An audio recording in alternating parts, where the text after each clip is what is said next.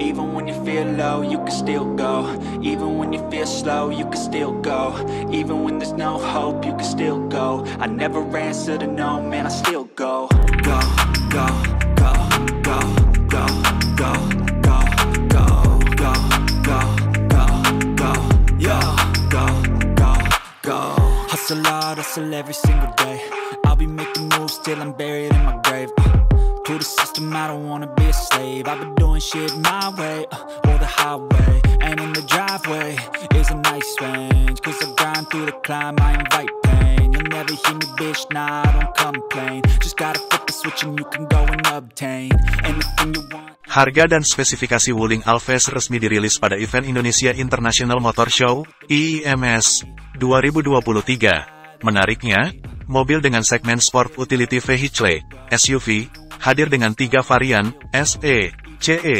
EX. Banderol mulai 209 juta rupiah ini digadang-gadang bakal menantang eksistensi Hyundai Creta dan Honda HR-V.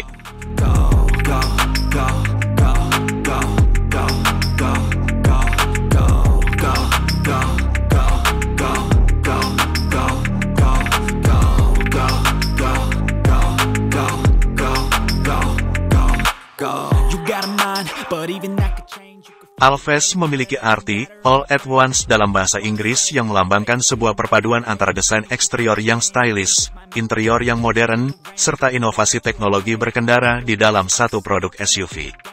Sejalan dengan hal tersebut, Wuling pun menyematkan tagline Style dan Innovation in One SUV pada Alves. Dengan segala kelebihannya, compact SUV ini ditujukan bagi mereka yang berjiwa muda, bergaya modern, dan cerdas dalam memilih. Nah, biar tidak semakin penasaran, mari kita simak ulasan spesifikasi Wuling Alves 2023 berikut ini. go.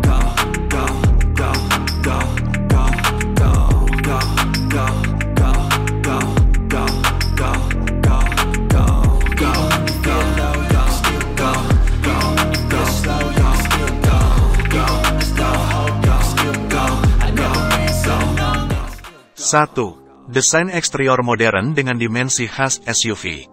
Bocoran spesifikasi Wuling Alves yang pertama adalah dari sisi tampilan eksterior modern, SUV ini hadir dengan grille yang membentuk huruf V, kemudian dasarnya pakai warna hitam, ditambah aksen krom yang membentang horizontal di atasnya, ada pula logo 5 berlian khas Wuling di tengah-tengah grille. Adapun untuk headlamp sudah menggunakan jenis LED dan desainnya mirip mobil-mobil Eropa, untuk menunjang penampilan depan lebih optimal, bagian bumpernya terdapat lekukan garis tegas dan hadir fog lamp yang juga sudah LED.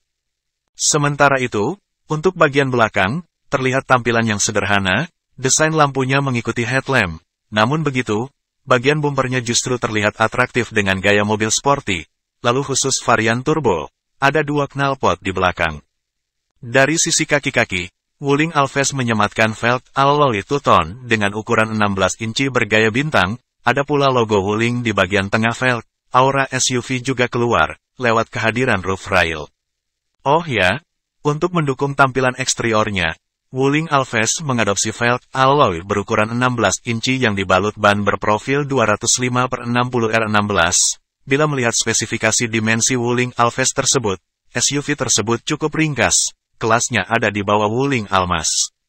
Di atas kertas punya panjang 4350 mm, lebar 1750 mm, tinggi 1610 mm, dan jarak sumbu roda 2550 mm. Dimensi Alves ini mirip-mirip dengan Honda HR-V dan Hyundai Creta.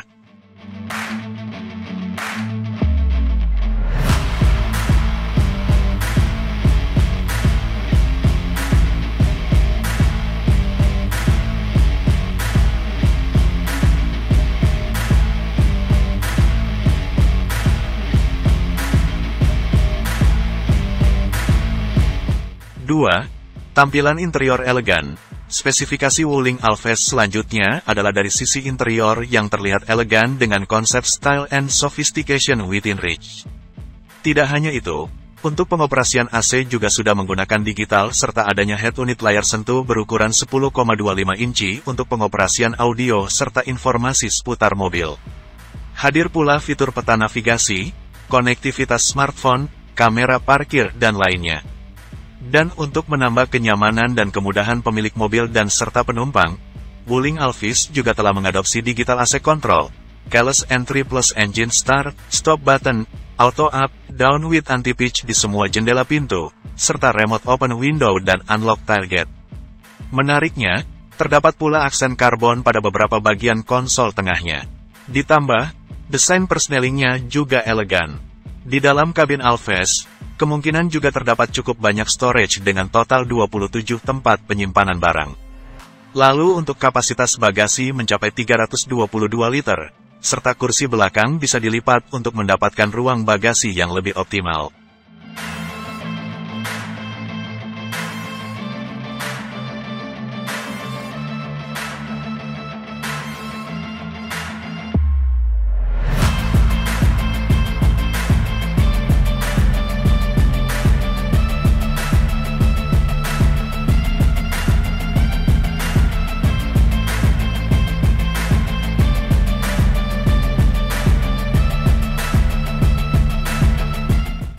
3. Wuling Alves pakai Win dan IOV.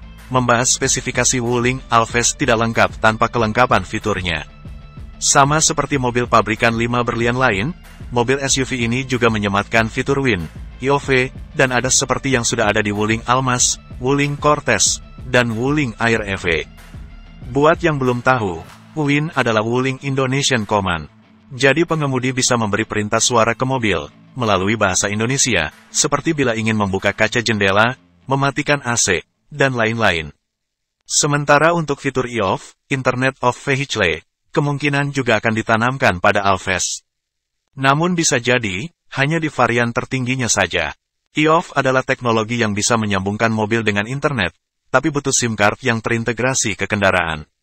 Kemudian, Wuling Alves juga dilengkapi juga ADAS, Advanced Driver Assistance System, yang di dalamnya terintegrasi ACC alias Adaptive Cruise Control. Kehadiran fitur-fitur modern ini penting di Alves, lantaran kompetitor seperti HRV sudah punya Honda Sensing, begitu juga dengan kereta yang pakai Hyundai Smart Sense. I never answer to no, man, I still go, go,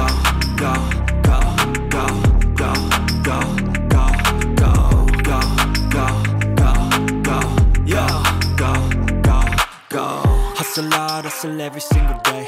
I'll be making moves till I'm buried in my grave uh, To the system, I don't wanna be a slave. I've been doing shit my way, uh, or the highway. And in the driveway is a nice range Cause I grind through the climb, I invite pain. You'll never hear me, bitch, nah, I don't complain. Just gotta flip the switch and you can go and obtain Anything you want, anything you need. Your mind's got the key ingredient, it's belief uh, They deceive with the negativity But I just slide right by that energy uh, Even when you feel low, you can still go.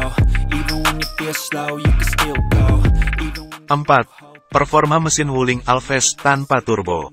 Selanjutnya, spesifikasi Wuling Alves berlanjut ke bagian jantung pacunya.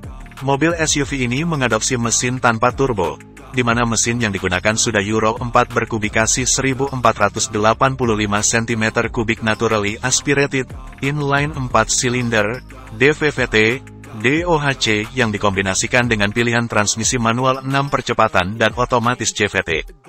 Kombinasi mesin dan transmisi tersebut diklaim mampu menghasilkan tenaga maksimal 105 tenaga kuda pada 5.800 revolusi per menit serta torsi puncak di angka 143 Nm pada putaran mesin 4,000 sampai 4,600 revolusi per menit.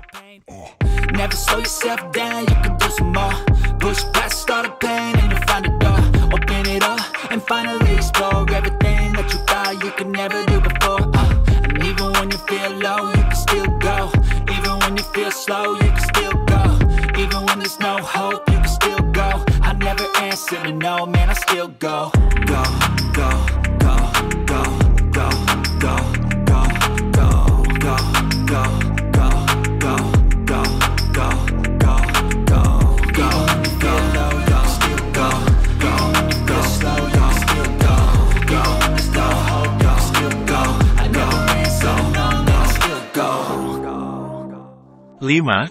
Wuling Alves hadir dalam dua ton. Pilar dan atapnya berwarna hitam, dipadukan dengan abu-abu baja tungsten, putih asli, perak aurora, hitam bintang, dan merah akik. Memiliki perpaduan dua warna tentunya akan membuat Wuling Alves semakin modern dan elegan. SUV asal China ini semakin percaya diri untuk melawan para rivalnya seperti Honda HR-V dan Hyundai Creta.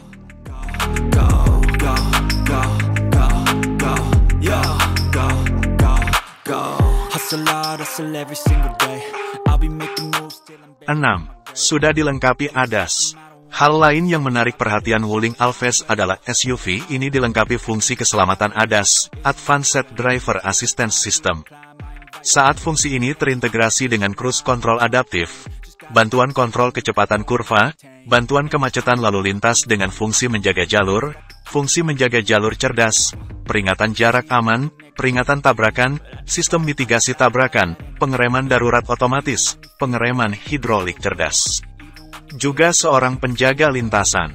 Kemudian, selain fitur ADAS, Wuling Alves juga sudah dilengkapi fitur Electronic Stability Control, ESC, and Traction Control System, TCS, Anti-Lock Braking System, ABS, and Electronic Brake Force Distribution, EBD, Emergency Stop Signal, ESS, Electric Parking Brake, EPB, with Auto Vehicle Hold, AVH, Hill Hold Control, HHC, Dual SRS Airbags, Tire Pressure Monitoring System, TPMS, Seat Belt Reminder, ESOFEX, and Child-Proof Door Lock, Rear Parking Sensors, dan Immobilizer, Anti-Theft Alarm. Best thoughts saying Put them on display On repeat in your brain Till you're feeling no more pain. Uh. Never slow yourself down You can do some more. Push past all the pain And you'll find a door. Open it up And finally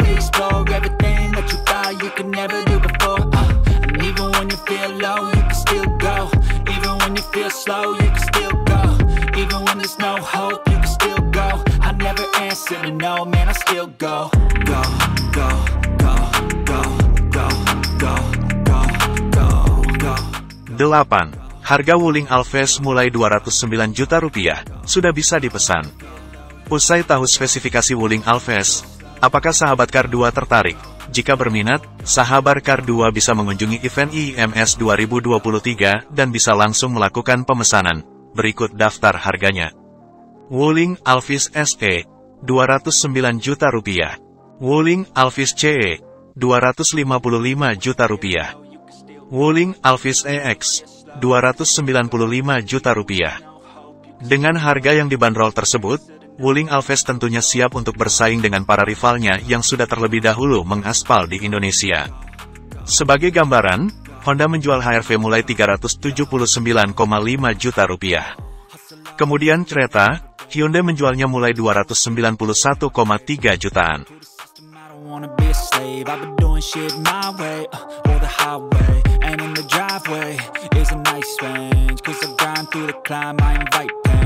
Never hear me, bitch, nah, I don't complain. Just gotta flip the switch and you can go and obtain Anything you want, anything you need. Your mind's got the key ingredient, it's belief. Uh, They deceive with the negativity. But I just slide right by that energy. Uh, Even when you feel low, you can still go. Even when you feel slow, you can still go. Even when there's no hope, you can still go. I never answer to no, man, I still go. Go, go Go, go, go, go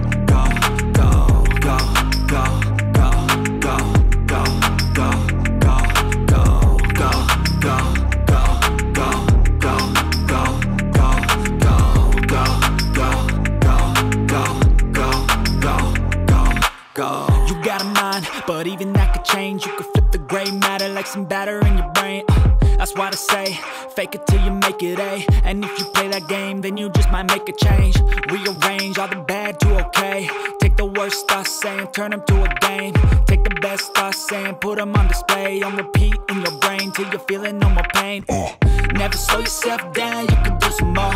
Push past all the pain And you'll find a door. Open it up And finally explore